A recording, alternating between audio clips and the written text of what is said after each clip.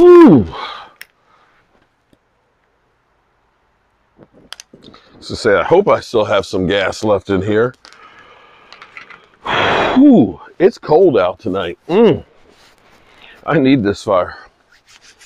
Well, good evening, good people. Mark Holmes here, and as always, I want to say thank you all for watching, commenting, subscribing, and being part of the Jobu Sports Report.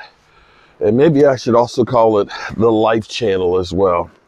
And as always, I want to say thank you all for watching, commenting, subscribing, and being part of the Jobu Sports Report. Without you guys, as well as you ladies, you know that this literally does not work.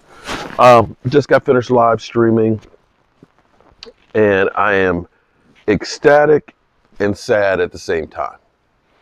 Because, you know, butthurt Eagle fans, they're just saying, well, you know, you're, you're leading the division right now, but it ain't going to last because all we got to do is win out. And we just got the Giants left, you know, twice.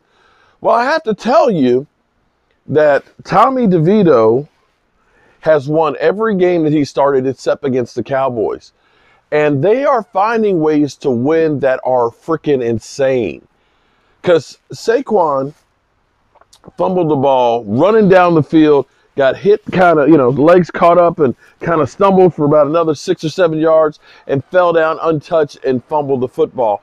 And it seemed like the Green Bay Packers, which were in a playoff position, were going to win. They go down, they score, and there's only like a minute and a half left.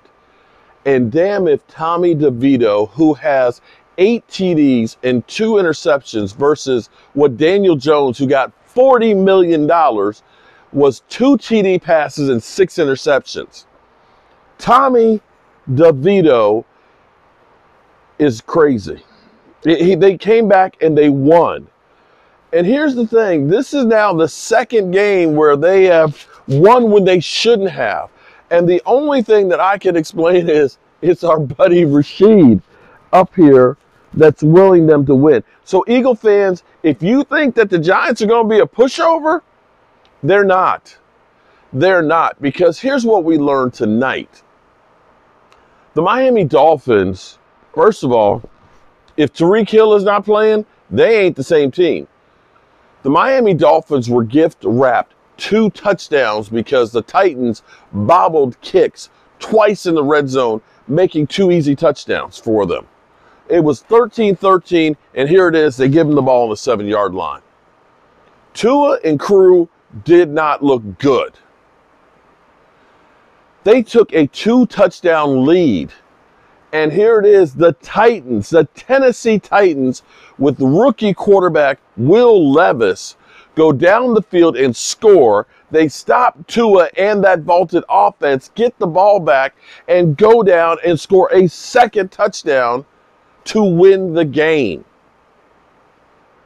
Two teams with nothing to play for against two teams, one of which was currently in the playoff picture with the Green Bay Packers, losing to the New York Giants that have now won three games straight and are getting hot.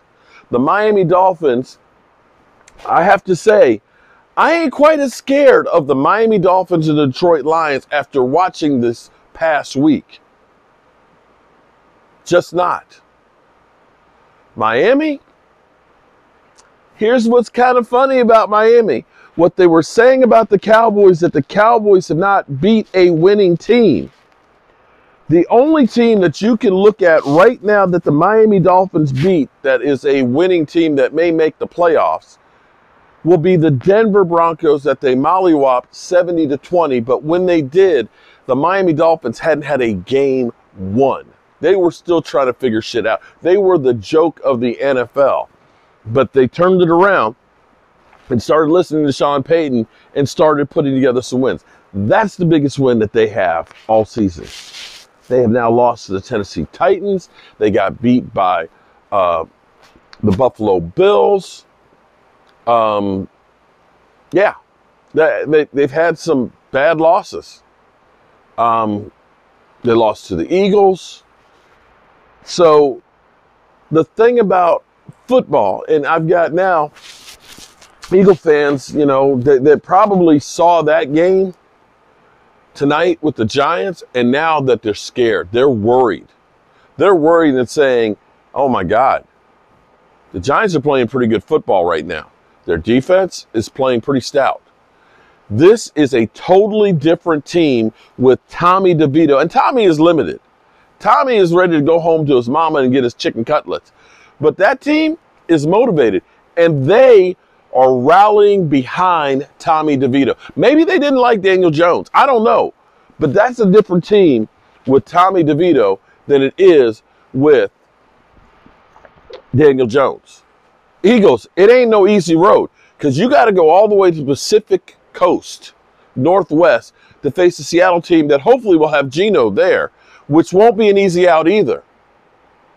That won't be an easy out if Geno Smith is playing because playing in Seattle is a tough place to play.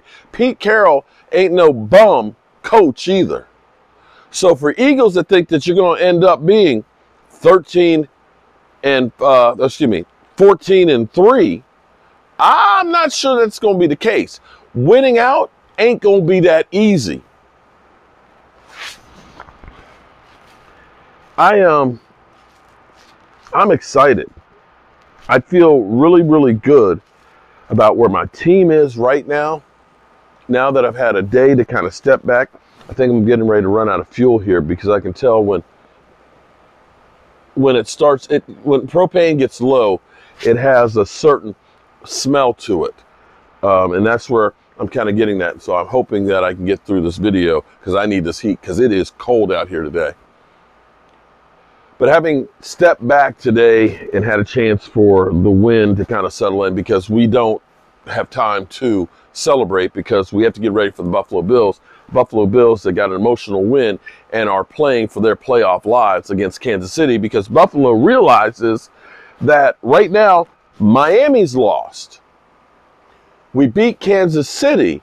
Denver has been playing pretty well, but there's no dominant team in the AFC right now. They can get back into the picture and possibly go on. There is not, you don't look, who do you look at in the AFC right now and say, they're the odds on favorite to make it. Now, probably Kansas City will bounce back because they've got the best coach and things, but you can't say that that's a guarantee at all. At all. So Buffalo has a lot to play for. But sometimes you get lucky. I'm watching the weather like a crazy man. Right at the moment, it was 48 degrees they had forecasted yesterday. Today, this evening, they said 47 and, and 38 for Sunday. The nicest weather of the week right now, long range, that can change in a hurry. I didn't know we were getting snow last night, and we did. And things change in a hurry with the weather. But at the moment, it looks like it's going to be decent weather for the game. And that will help the Dallas Cowboys out tremendously that we're not dealing with Buffalo weather. And sometimes you get lucky in situations like that when you are trying to go. The Eagles, road gets tough. I, I, you know, they've been laughing and saying that, that the Eagles have the easiest schedule. I don't know that it's that easy because you're playing a desperate Seattle team and you are playing now a giant team that's getting some momentum and some confidence and believing in themselves and would love to do nothing more than to hurt the Philadelphia Eagles. So, bro, it ain't going to be easy, to say the least. trying to try these out. They've gotten wet out here in the rain. But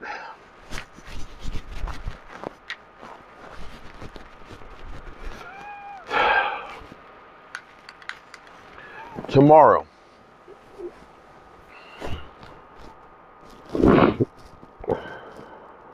Tomorrow.